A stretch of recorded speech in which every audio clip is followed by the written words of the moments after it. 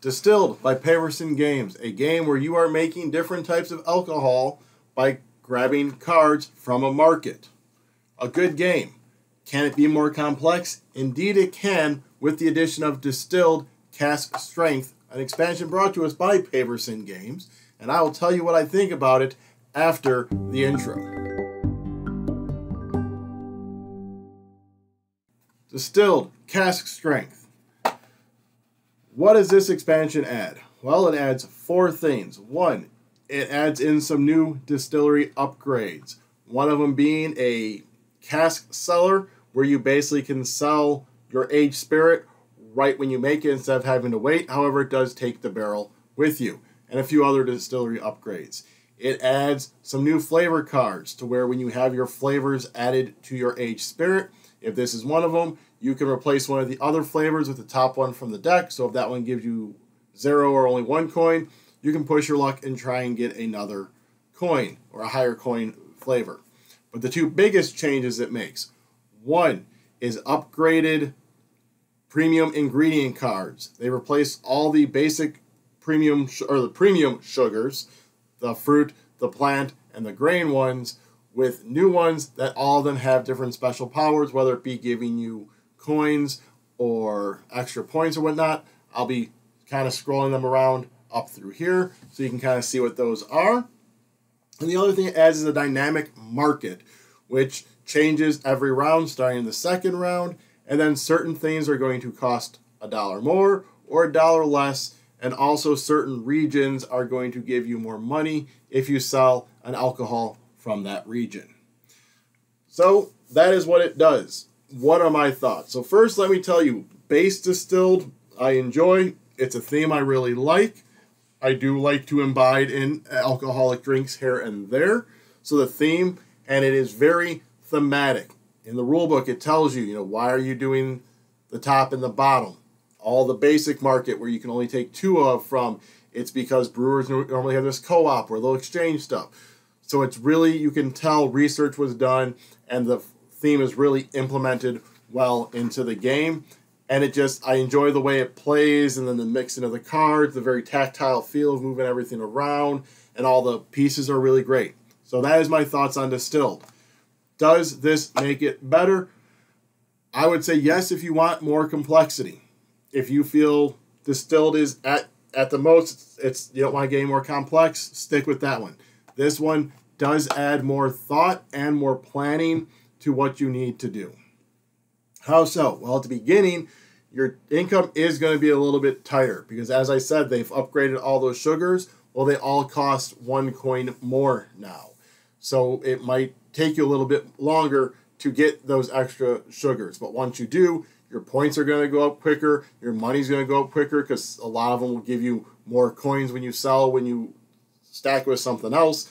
Then you have that dynamic market, which is going to be adding more coins to stuff you're selling, and also possibly reducing one coin. So that thing that normally cost four in the base one got pushed up to five. Well, now the dynamic market brings it back down to four.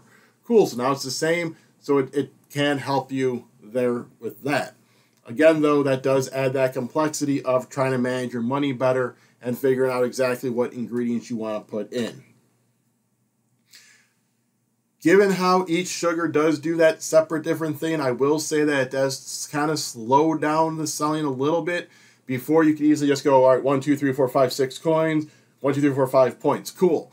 But now you gotta look at the sugars, kind of maybe set them aside. All right, this one's gonna give you so many coins for having extra ones of these sugars. And you gotta go back and kind of look at that. So it does kind of slow down the selling process a little bit didn't really become an issue with us, but if you're one who you already thought that might have been slow, it will kind of slow it down some more. Just giving you heads up on that. Um, the dynamic market. This is where I'm talking about how your plans could change and how you have that extra complexity. Because, say, this turn, fruit sugars are going to cost more. Well, if you're going to try and make that Pisco, hopefully you don't need the fruit sugars or you have enough money to cover that increased cost. Or You'll be able to see that around of head, so maybe you'll buy your fruit sugars so you're ready to go for the next turn.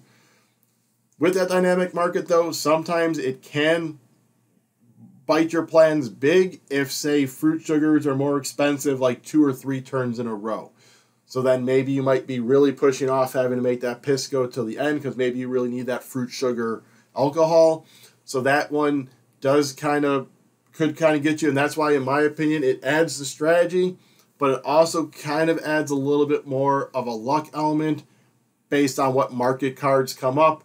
Could really mess you up, or might not hurt you at all. So your opponent's just constantly getting the benefit of it, and you're constantly getting hurt. So there's that that little bit of extra luck that got put in there. But you can't you can strategize around it. It just may not be the strategy you want it to do. So that's that strategy level of possibly having to divert yourself. Like, well, I really want to go this way. The game's kind of pushing me this way. All right, how can I make this work with what I'm doing here? So, but all in all, I'd say we did enjoy it. Um, it did, like I said, kind of slow down that first play. Having to remember to look at the dynamic market because you're not used to that with doing everything else. But once you get into the flow of that by like your second or third game, it'll seem second nature. So overall, we enjoyed it. It will add that complexity if you're looking for a slightly more complex game. He said it basically takes it from a 3 to like a 3.25, and I would agree with that. It doesn't change the game dramatically. It's not like you have to learn a whole new set of rules. It's literally just pushing an extra card over at the start of every round and reading some more cards with the sugars. So that is kind of the expansion that we enjoy, one that doesn't drastically change the game. We're like, all right, now I got to read this whole other rule book, and now read this rule book so I know everything that's going on. I mean, it literally came in a small box with the same with the playing card size rules front and back, three cards, and it explained basically dynamic market, flavor market, this, this, done.